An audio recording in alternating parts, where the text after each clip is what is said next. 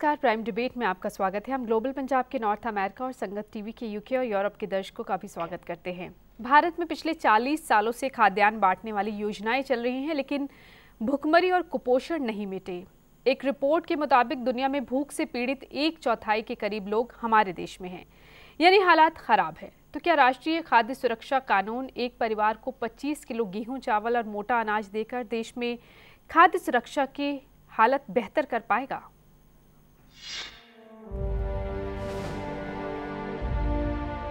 खुद को उभरती हुई आर्थिक शक्ति मानकर गर्व करने वाले हमारे देश के लिए खबर शर्मनाक है। दुनिया में भुखमरी के शिकार जितने लोग हैं, उनमें से एक चौथाई लोग हमारे देश में रहते हैं। भुखमरी मापने वाले सूचकांक, ग्लोबल हंगर इंडेक्स ने अपनी रिपोर्ट में भारत को इस मामले में तिरसठवें स्थान पर रखा है। ग्लोबल हंगर इंडेक्स की रिपोर्ट के मुताबिक दुनिया में भूख से पीड़ित लोगों की कुल संख्या चौरासी करोड़ 20 लाख है और इनमें से 21 करोड़ लोग, यानी एक चौथाई के लगभग लोग अकेले भारत में हैं। भारत को इंडेक्स ने अलार्मिंग कैटेगरी में रखा है और बताया है कि देश में पाँच साल से कम उम्र के 40 फ़ीसदी बच्चे अब भी कुपोषित हैं रिपोर्ट के मुताबिक भारत की हालत पहले से भले ही बेहतर हुई है, लेकिन कई पड़ोसी मुल्कों से बदतर है विकसित देशों की बात जाने भी दे तो पाकिस्तान और बांग्लादेश से भी ज़्यादा भुखमरी हमारे देश में है। इस रिपोर्ट के मुताबिक दक्षिण एशियाई क्षेत्र में बच्चों के कुपोषण का प्रमुख कारण सामाजिक असमानता और महिलाओं में पोषण, शिक्षा और सामाजिक स्तर का निम्न होना है। रिपोर्ट के लिए 120 विकासशील देशों पर स्टडी की गई थी। इनमें जो अंक दिए गए, वो कुपोषित लोगों का अनुपात, पाँच साल से कम उम्र के बच्चों का सामान्य से कम वज़न और बच्चों की मृत्यु दर पर आधारित था। रिपोर्ट में सुझाव दिया गया है कि खाद्य और पोषण सुरक्षा के मामले में राष्ट्रीय नीति तय करने की ज़रूरत है, तभी समस्या से पार पाया जा सकता है। इसी मुद्दे पर आज चर्चा करेंगे। हमारे साथ स्टूडियो में मौजूद हैं अर्थशास्त्री professor B S Khuman ji. Professor Raunaki Ram ji हमारे साथ हैं। पंजाब यूनिवर्सिटी में राजनीति विज्ञान पढ़ाते हैं। साथ ही हमारे साथ आर्थिक मामलों के जानकार, वरिष्ठ पत्रकार विजय सी रॉय भी मौजूद हैं। Professor B S Khuman ji पहला सवाल ही यही है कि हालात इतने ख़राब क्यों हैं? अन्न की देश में कमी नहीं है। फिर क्यों हालात इतने बदतर हैं? हाँ उससे सबसे जो बड़ा उसका कारण है भी जितना अनाज हम प्रोड्यूस करते हैं और जितना ह्यूमन बींग्स तक जाता है उसमें 50 परसेंट वेस्टेज है। If we produce 100 quintals of wheat than 50 percent wheat is lost in the process एक रिपोर्ट के मुताबिक 21 लाख टन वीट हरेक साल ईच ईयर वो वेस्टेज हो रही है, जो कि ऑस्ट्रेलिया की टोटल वीट के बराबर है। जितना ऑस्ट्रेलिया एक साल में वीट प्रोड्यूस करता है, हमारे कंट्री में उतना वीट डिस्ट्रीब्यूशन और प्रोक्योर स्टोरेज में ख़राब हो जाता है। सबसे एक इमीडिएट कारण जो है, उसके बिना और लॉन्ग टर्म कारण है, जो डिस्ट्रीब्यूशन ऑफ़ एसेट्स है डिस्ट्रीब्यूशन ऑफ़ लैंड है जिसकी वजह से पॉवर्टी एग्जिस्ट करती है। एम्प्लॉयमेंट के एवेन्यूज़ गरीब आदमी को उस स्पेस पे नहीं हो रहे जिस स्पेस पे पॉपुलेशन बढ़ रही है। कारण बहुत सारे हैं लेकिन अगर इमीडिएट देखा जाए भी जितना हम प्रोड्यूस करते हैं उसमें इतने ट्रांसमिशन लॉसेज हो जाते हैं वो 50 परसेंट तक चले जाते हैं। हम्म। अगर हम उसको भी प्लग कर लें जी। तो भी हम बहुत हद तक जो लोग भूख मरी का शिकार हैं उसको उनको हम फ़ूड मुहैया कर सकते हैं।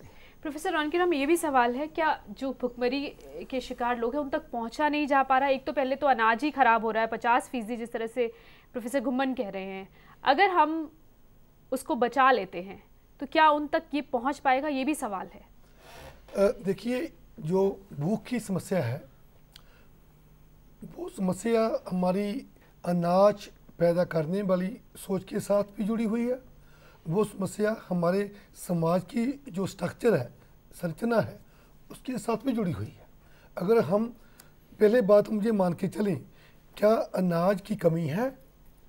अगर अनाज की कमी है तो उस एंगल से, उस नुक्ता नगाह से हम ये मान रहे हैं कि भूखमरी है। पर हमें शुरू से आज की बात नहीं है। अंग्रेज़ के राज के समय के दौरान जहाँ जहाँ भी भूखमरी हुई है जहाँ जहाँ भी भूखमरी भारत में जिस सूबे में हुई है वो भूखमरी जो स्टडी उसकी हुई है हम्म। जिसे अमृत्य सेन प्रोफेसर अमृत्य सेन को इकोनॉमिक्स में नोबल प्राइज भी मिला है वो है मैन मेड हम्म। हमारी गलतियों से हुई है। उसमें अनाज की कमी नहीं थी उसमें मैनेजमेंट की कमी थी।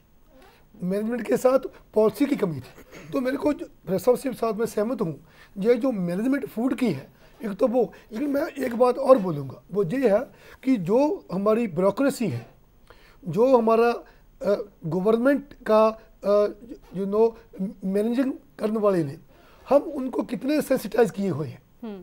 क्योंकि एक लाइसेंस देना एक एजेंसी देना और एक फ़ूड को हैंडल करना हम्म। दो अलग अलग चीज़ें हैं। जो फ़ूड को हैंडल करना है हमने उसमें एक ह्यूमन फैक्टर है। वैसे तो लाइसेंस देना एजेंसी देने में भी ह्यूमन फैक्टर है हम ये मानकर चलते हैं कि अगर किसी को डिफ़िकल्टी आती है तो किसी को विधवा को हाँ। जहाँ कोई फ्रीडम फाइटर है हाँ। हम उसको एम्प्लॉयमेंट देने की बात करते हैं ताकि उसका सत्र बढ़ाया जाए हम्म। अब कोई भूखा है क्या उसको रोटी ही दी जाए हम्म। क्या हंगर की प्रॉब्लम फ़ूड की प्रॉब्लम है या हंगर हाँ। की प्रॉब्लम पेट भरने से अलावा कोई और प्रॉब्लम भी है हाँ। जब तक हम अपनी भूख को हम हम अपनी मैनेजमेंट को हम अपनी पॉलिसी को साथ में मिलाकर नहीं देखते हम्म। हम हंगर का नतीजा नहीं पहुँचे। हाँ, यानी बहुत सारी चीज़ें आपने निकाली। एक तो प्रबंधन विजय इसी पर आ, सवाल है कि प्रबंधन की भी कमी अनाज की कमी नहीं है प्रबंधन की कमी प्रोफेसर रौनकी राम कह रहे हैं और ये भी कि सिर्फ़ क्या ये आ, पेट भरने की समस्या है भुखमरी?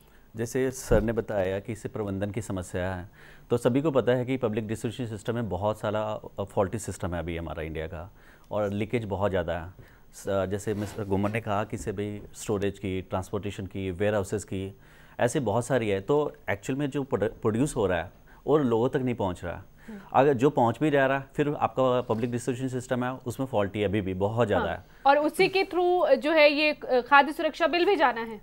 हाँ उसके थ्रू जाना है तो हम्म। उसमें अभी है कि जो लीकेजेस है पहले तो लूप होल्स जितने भी हैं प्लग करना पड़ेगा। तो कह रहे कि आधार कार्ड से कुछ हद तक सॉल्व होने की समस्या कुछ संभावना है। बट अभी भी बहुत टाइम लगेगा वैसे भी करने में। और फ़ूड सिक्योरिटी बिल भी है इस साल से तो होना नहीं है। कुछ पार्ट में हो जाएगा। बट उसको फुल्ली इम्प्लीमेंट करना है लेटर एंड स्प्रेट में। इट विल टेक दो तीन साल तो लग ही जाएँगे। प्रोफेसर गुमन अब अगला सवाल ही यही है कि खाद्य सुरक्षा बिल लेकर आई है। हम्म। सड़सठ प्रतिशत आबादी को कहा जा रहा है कि सस्ती दरों पर खाद्यान्न। हम्म, हम्म। इससे क्या भूखमरी दूर हो पाएगी? ऐसे है भी उसमें अगर हम रूरल एंड अर्बन ब्रेकअप भी देख लें तो 70 पर 75 परसेंट रूरल पॉपुलेशन को कवर करेगा और 50 परसेंट अर्बन पॉपुलेशन को कवर करेगा। इसके लिए जो रिसोर्स चाहिए वो रिसोर्स हैं ट्वेंटी फाइव थाउज़ेंड करोड़ की राशि धनराशि की ज़रूरत है। जैसे हमारी गवर्नमेंट सभी की फ़िज़िकल हेल्थ अच्छी नहीं है सबसे बड़ा सवाल तो ये मतलब के उठता है भी क्या हम 25,000 करोड़ जो धनराशि है उसको सरकार तो ये आशान्वित कर रही है कि हम ये कर लेंगे। नहीं ठीक है कर लेंगे। इतनी मतलब इतनी हमें रिसोर्स को मोबिलाइज करना पड़ेगा। अगर उसमें जैसे विजय जी कह रहे थे भी जो पब्लिक डिस्ट्रीब्यूशन सिस्टम है एक तो ये माध्यम है। दूसरा एक इंटेग्रेटेड चाइल्ड डेवलपमेंट स्कीम्स हैं जिसमें न्यूट्रिशनल प्रोग्राम चलते हैं। न्यूली बॉर्न और प्रेग्नेंट वुमेन को मतलब के न्यूट्रिशन न्यूट्रिशनल डाइट दी जाती है। तीसरा मिड डे मील्स है हम्म। जो भी उसी उसी कंटेक्स्ट में आ रहा है जिसके माध्यम से फ़ूड की फ़ूड सिक्योरिटी को इंश्योर किया जा रहा है। एक दो स्कीम्स और हैं।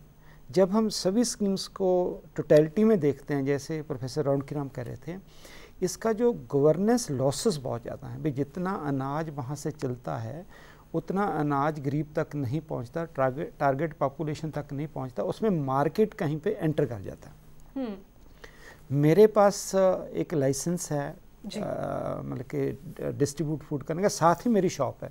I am owner of both and वहीं पे वहीं पे सस्ता था वो दुकानों में वहीं पे मुझे कहीं पे जाने की ज़रूरत नहीं है वहीं पे सारा कुछ हो रहा है। मतलब सार्वजनिक वितरण प्रणाली हाँ। में जो खामियाँ जो विजय कह रहे थे अब वो बिल्कुल एविडेंस है उसका। हाँ। दो दो तो फिर क्या हालत मतलब सुधरेंगी भी नहीं चाहे खाद्य सुरक्षा बिल ले ले भी आए तो भी। दो स्टेज पे उसमें खामियाँ एक तो आइडेंटिफाई करना भी किसको ये फ़ूड इंटाइटलमेंट किसकी है वहाँ पे गड़बड़ होती है। अभी सपोज़ करो मैं रिच हूँ लेकिन मैनुपलेशन करके मैं पुअर की कैटेगरी में इंक्लूड हो जाता हूँ। एक पुअर है उसको अवेयरनेस नहीं है कि वो उससे एक्सक्लूड हो जाता है। एक तो वहीं से फाउंडेशन ले डाउन हो जाती है हाँ। भी किसको इसमें इंक्लूड करें किसके एक्सक्लूड हम्म। करें उसमें ऑब्जेक्टिव जार्ड स्टिक्स नहीं है। उसमें सब्जेक्टिविटी इतनी आ जाती है भी कई दफ़ा डिजर्विंग एक्सक्लूड हो जाता है एंड नॉट डिजर्विंग इंक्लूड हो जाता है। एक तो ये है। दूसरा जब वो एक्सेस करता है फ़ूड को वहाँ पे जाके उसको जो रियली बल्कि जो पुअर है जिसको हम आ, आ, इतना पुअर कहते हैं भी आ, बिल्कुल ही पुअर है जब वो दुकान पे जाता है हम्म। अगर उसको वो दुकानदार कह जाता है अभी अभी इसमें फ़ूड आना है जहाँ ये ग्रेन आना ही, ही वो उसको तुरंत मान के वापस आ जाता है हाँ। लेकिन अगर वो आर्टिकुलेशन है इन्फॉर्म्ड है जो कई दफ़ा टेलीविज़न पे ऐड भी आती जी, है क्योंकि वो अगर वो ऐसे असर्ट करता है तो उसको फ़ूड मिल सकता है। हम्म। इसका मतलब ये है भी इंटाइटलमेंट के, के लिए डिसमिनेशन ऑफ़ इंफॉर्मेशन यानी जो योग्य व्यक्ति है उन्हें एक तो ज़्यादा सचेत और जागरूक हो जागरूक होना पड़ेगा लेकिन ये भी बड़ी समस्या है क्योंकि ज़्यादातर लोग जो हैं वो गरीब तो हैं ही है साथ ही अशिक्षित है। उन्हें यही नहीं पता कि उनका हक क्या राइट को एक्सरसाइज करने की मतलब कि एम्पावरमेंट ज़रूर होनी चाहिए। इस ये नहीं भी ही भी उसको इंटाइटलमेंट है। उसको इंटाइटलमेंट को ऑपरेशनलाइज करने के लिए अवेयरनेस एम्पावरमेंट बड़ी ज़रूरी है। भाई जब आप जाओगे आपको जवाब नहीं दे सकता। हम्म। अगर जवाब देगा तो जो फ़ूड सिक्योरिटी एक्ट है इसमें स्टेट फ़ूड कमीशन बनेगा। और डिस्ट्रिक्ट लेवल पे ग्रेवेंसिस रिड्रेसल मैकेनिज्म बनेगा उसको उसके बारे में पता नहीं है भी फ़ूड स्टेट फ़ूड खाद्य सुरक्षा कानून में है क्या है प्रोविज़न है हाँ। उसमें इतनी भी प्रोविज़न है भी जितने भी इंटाइटलमेंट है उसको डिस्प्ले किया जाएगा वेबसाइट हम्म। पे होगा भी हम्म। आप इंटाइटल हो या नहीं हो everything has to be made transparent but जितने भी अब तक एक्ट हुए हैं उन उनमें सभी में जो खामियाँ रही हैं हम्म। भी इतनी क्लेम करने के बावजूद भी ट्रांसपेरेंसी हाँ, नहीं है। चुनौती एक प्रोफेसर वनकराम खामियाँ जो है वो बहुत बड़ी चुनौती है। खाद्य सुरक्षा कानून आ चुका है लेकिन एक जो प्रोफेसर घुमन ये भी कह रहे हैं कि एक तो योग्य व्यक्ति तक ये पहुंचेगा या नहीं पहुंचेगा। एक सवाल ये भी है कि क्या सिर्फ़ चावल गेहूँ और मोटा अनाज कुपोषण और भुखमरी दूर कर सकता है? देखिए हमें बहुत ही प्रैक्टिकली रियलिटी से जुड़कर इन सवालों को समझना होगा। जी। हम ये मानकर चलते हैं डाटा कहता है कि हम श्रीलंका पाकिस्तान और बांग्लादेश से भी पीछे हैं। और हमें डाटा कह रहा है कि हम हमारे 40 परसेंट जो बच्चे हैं पाँच साल की उम्र से कम वो शिकार हैं। और कितने लोग भूखे हैं। तो ये डाटा जो है जो रिपोर्ट बनी है वो बहुत ही संजीदगा तरीके से हम्म। कुछ लोगों की ओपिनियन डिफरेंट हो सकती है। आप कैसे भूखमरी को कैलकुलेट करते हैं। हम्म, हम्म, हो सकती है। दैट अपार्ट एक बात इसमें आती है कि साउथ एशिया में इस खत्े में सबसे ज़्यादा जो है पुअर सबसे ज़्यादा भूखे लोग जहाँ पर भूखमरी से पीड़ित लोग हैं। अब इस सवाल को मानते हुए जो आप फ़ूड सिक्योरिटी बिल की बात करते थे वो बड़ा अहम है। पहली बात यह है कि हमारे पास जितनी भी मैनेजमेंट के लेवल पे जितनी भी स्टोरेज के लेवल पे जो उसका पार्ट है या जितनी भी फ़ूड को समझने के लेवल पे कैसे पहुंचाना है उसमें कैसे लोगों को चेतन करना है जैसे प्रोफेसर गुमर साहब जी ने बोला है इन सबको एक पासे छोड़ते हुए पहली बात है कि लोगों को इन लोगों को खा अनाज की ज़रूरत है। हम्म। क्या मोटा अनाज जैसे आपने पूछा है जहाँ उसमें दाल जो है उनका पेट भर सकती है? हाँ ये ज़रूरी है ये भरेगी हाँ। बहुत ज़रूरी है। हाँ। दूसरा सवाल ये है कि ये तो मिनिमम है। हाँ। ये कोई पॉवर्टी का हल नहीं है। सिर्फ़ अनाज से जो भुखमरी की समस्या है उसका समाधान हो जाएगा। अगर खाद्य सुरक्षा कानून सही तरीके से लागू हो जाता है तमाम खामियों को दूर करके। नहीं सिर्फ़ इसी से अनाज से ही नहीं हो पाएगा पूरा क्योंकि उसमें है ना ये राइस है और चावल है वीट है दाल की कोई प्रोविज़न नहीं है। तो और अगर हम देखे जाएँ जो इंडिया का डाटा भी है तो 1961 में ना जो पर कैप्टा था 69 ग्राम्स पर डे होता था कंजप्शन ऑन एन एवरेज जो गिर के है ना 39 ग्राम्स तक आ गया 2011 में ऑलरेडी हम्म। दाल के प्राइसेस भी बहुत ज़्यादा तो कुछ एक्सटेंट तक जो अगर फ़ूड सिक्योरिटी बिल हम करेंगे इम्प्लीमेंट। तो थोड़ा सा लूप ये प्लगेज जो लूप होल्स हैं उसको प्लग करने में हेल्प करेगा हम्म। जो पर प्रॉपर न्यूट्रिशन के लिए वो प्रॉपर नहीं है हम्म। अगर प्रॉपर न्यूट्रिशन हम कैलोरीज की बात करें तो फ़ूड सिक्योरिटी बिल उसको नहीं कर सकता। कुपोषण की जो समस्या है वो दूर नहीं हो सकती क्योंकि जिस तरह से कह रहे हैं कि 40 फ़ीसदी पाँच साल से कम उम्र के बच्चे कुपोषण का शिकार है हालाँकि उसमें खा, जो खा, कारण भी बताए गए हैं कि सामाजिक असमानता है महिलाओं में पोषण शिक्षा और सामाजिक स्तर का निम्न होना है। अब ये कैसे सुधरेगा? आपने चलिए खाद्यान्न तो अनाज उपलब्ध करा दिया लेकिन अब सामाजिक स्तर सुधारना शिक्षा जो इतनी बड़ी तादाद में लोग अशिक्षित हैं ये सब कैसे सुधरेगा? तभी तो उसके बाद ही तो ये जो भुखमरी की समस्या है, वो दूर हो सकती है।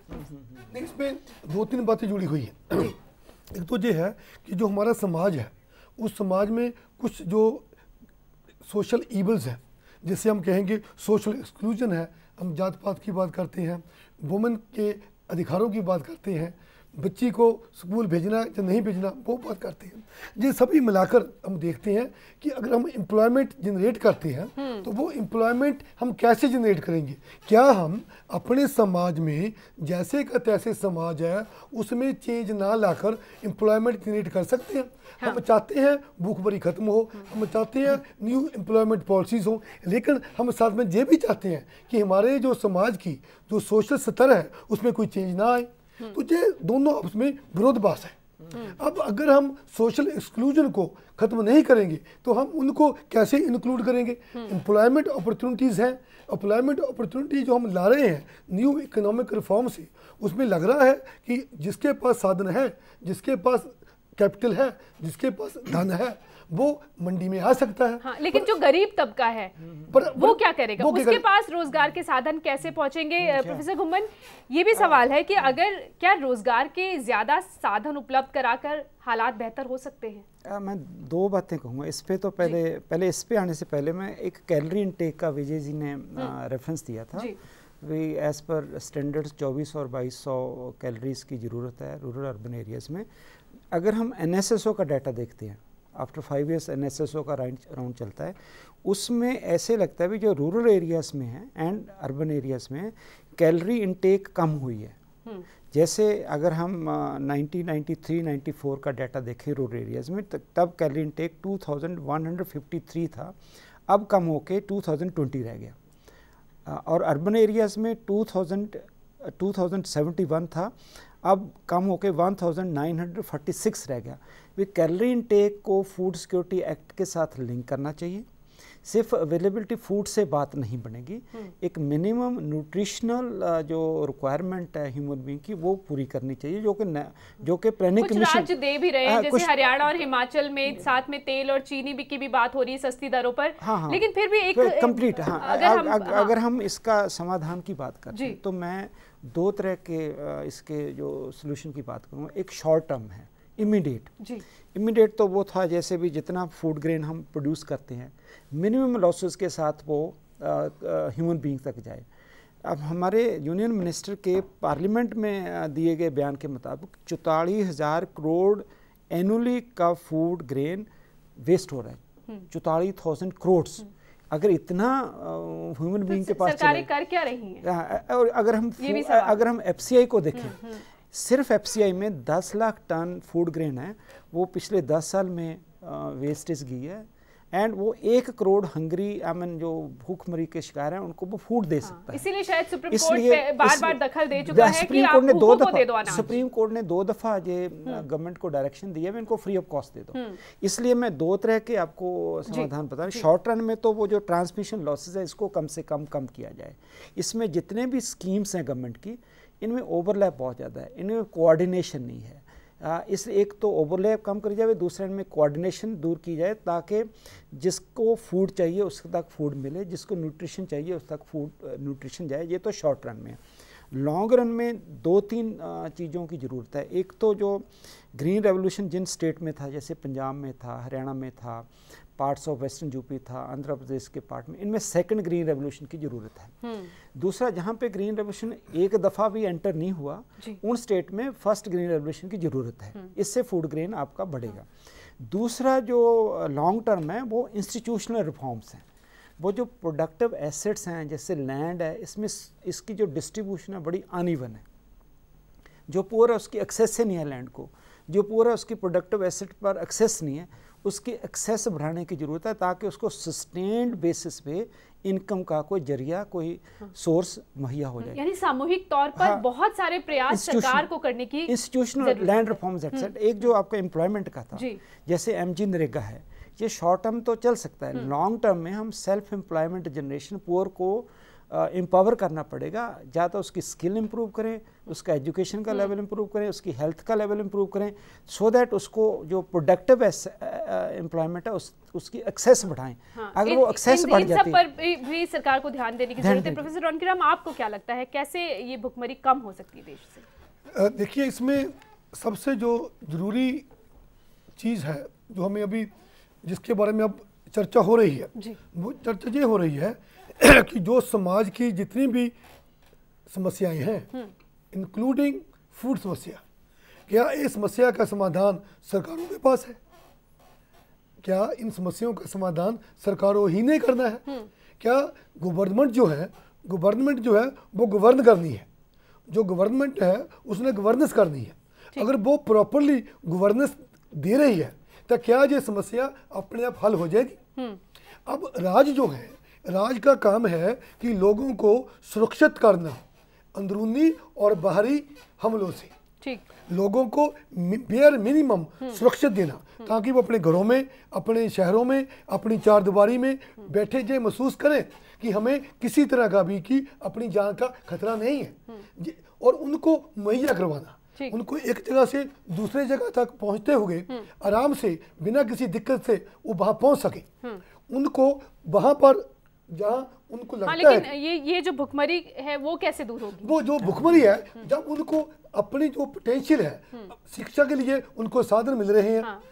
उनको एक जगह से दूसरी जगह पर जाने के लिए ट्रांसपोर्ट मिल रही है।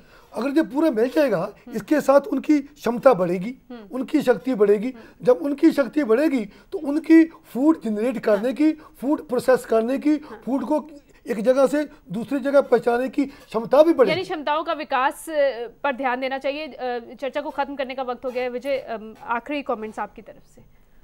किस तरह से भुखमरी कम हो सकती है देश से? पहले तो है कि इससे सबसे बड़ी इंपॉर्टेंट चीज़ है कि इससे भी उनकी स्किल्स एनहांस करने के लिए। तो गवर्नमेंट्स की स्कीम है बैंक्स भी कर रहे हैं आर सेटीज़ कहते हैं rural self employment training institutes तो उसमें ना रूरल जो यूथ को है जैसा है कि काम कर सकते हैं एक तो वो सिखाते हैं। दूसरा ये और बैंक्स भी कई जगह पे कर रहे हैं पंजाब में हरियाणा बाद सिखाते Self- तो रोज़गार उपलब्ध होता है? रोज़गार उपलब्ध हो जाता है। वो वही करते हैं जिसकी ज़रूरत होती है। जैसे छोटा ट्रैक्टर चलाना है सब कुछ है। फिर अगर जिसका है किसी दूसरे स्किल्स में कि सेल्फ हेल्प ग्रुप्स का भी कॉन्सेप्ट है पंजाब में हरियाणा में इवन यूपीएसएम में चल रहा है। उसमें चार पाँच जैसे कि बढ़ाने की ज़रूरत इनको बढ़ाने की ज़रूरत है सभी को। हाँ, तो उसके बाद लगता है कि हालात बेहतर? हो हो सकते हैं अगर ये सारे जो सुझाव दिए गए हैं इन पर अमल में लाने की सरकारी बहुत चीज़ें हाँ रोज़गार तो मस्ट ही है कि इसे रोज़गार की अपॉर्चुनिटीज़ हाँ। तो जनरेट रोज़गार से तो बहुत कुछ बेहतर हो सकता है। शुक्रिया आप सभी का इस चर्चा में शामिल होने के लिए। देश के प्रधानमंत्री डॉक्टर मनमोहन सिंह देश में कुपोषण की समस्या को राष्ट्रीय शर्म की बात कह चुके हैं। अब खाद्य सुरक्षा बिल के आने से हालात कितने सुधरते हैं ये देखने वाली बात होगी। नमस्कार। खबरों की दुनिया में आइए। हमारे साथ कहीं भी और कभी भी जुड़िए। हम मिलेंगे फेसबुक पर। हम दिखेंगे यूट्यूब पर। हमें फॉलो कीजिए ट्विटर पर।